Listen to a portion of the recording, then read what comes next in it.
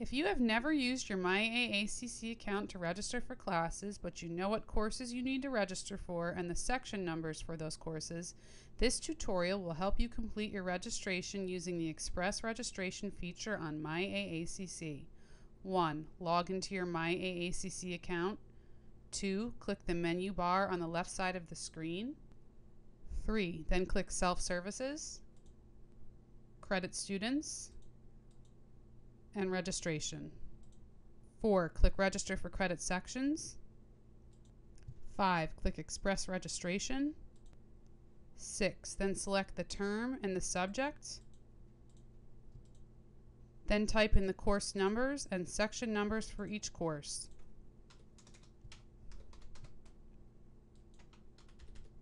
Seven, click Submit.